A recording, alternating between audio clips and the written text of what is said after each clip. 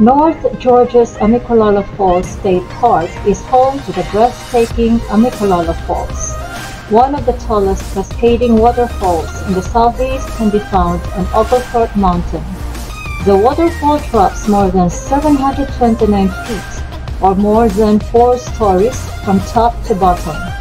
With more than four times the elevation of Niagara Falls, Amicalola Waterfall is among the most popular Georgia state parks.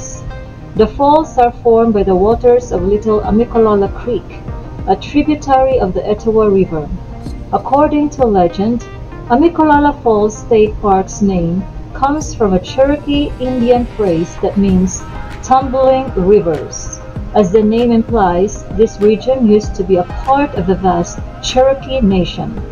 Before Europeans arrived in North America, their forefathers knew about the amazing waterfall in West Indian Territory.